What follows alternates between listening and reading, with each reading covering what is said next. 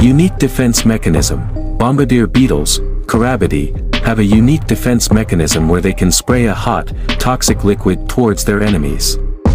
These beetles can produce a chemical reaction inside their bodies that generates a mixture of hydroquinone and hydrogen peroxide. When activated, this liquid explodes, creating a popping sound and releasing a hot blast that confuses and burns predators or enemies.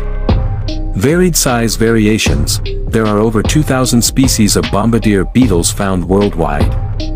These beetles come in various sizes, ranging from just a few millimeters to over 4 centimeters.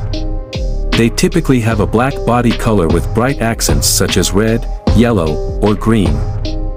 Thanks for watching, and see you in the next video.